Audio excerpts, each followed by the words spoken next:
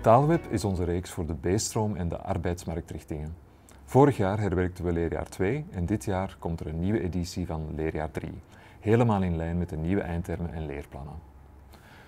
In de tweede graad krijgen je leerlingen de kans om hun kennis, vaardigheden en attitudes verder aan te scherpen en uit te breiden. In Taalweb werken ze doelgericht naar een communicatieve opdracht aan de hand van de juiste mix van haalbare oefeningen en meer uitdagende opdrachten. Taalweb is ingedeeld in taalblokken, die op hun beurt bestaan uit korte lessen. In taalblok 1 van leerjaar 3 leren ze bijvoorbeeld hoe ze een e-mail schrijven naar hun leraar.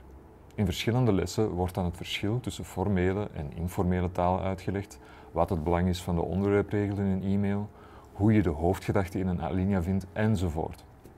Stap voor stap, zodat je leerlingen niet overspoeld worden met informatie.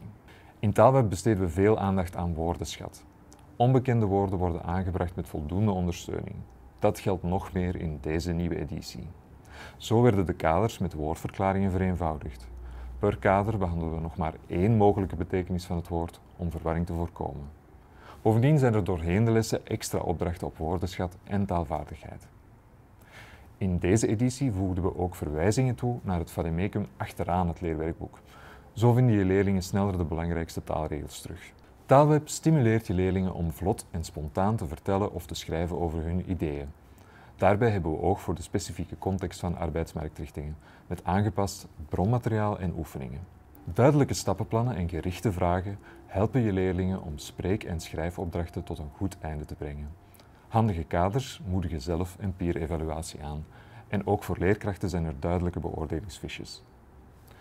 Hebben je leerlingen nood aan nog wat extra oefening? Op het online leerplatform Didit vinden ze interactieve opdrachtenreeksen bij elk taalblok. Bij het evaluatiemateriaal vind je ook extra leesopdrachten die geschikt zijn voor sterkere leerlingen. Tussen twee taalblokken staan er drie optionele lessen. Een creatieve les, een les over mediawijsheid en vanaf deze editie ook een les over genieten van taal. Deze lessen zijn ideaal om te differentiëren op interesses. In de creatieve lessen komen vooral spreek- en schrijfopdrachten aan bod. Mediawijsheid focust op onze relatie met onder meer sociale media en in genieten van taal duiken leerlingen in literatuur, een muziektekst of een videofragment. Op het online leerplatform Didit vind je niet alleen didactische wenken, controletoetsen bij de taalblokken en lessen, een jaarplan en een bordboek. Je kunt er ook interactieve opdrachten klaarzetten voor je leerlingen. En vanaf volgend schooljaar kun je zelfs interactieve toetsen samenstellen aan de hand van toetsitems, als je dat wenst. Wil je zelfbestanden of hyperlinks toevoegen aan het lesmateriaal op Didit? Ook dat is mogelijk. Wil je meer weten over Taalweb?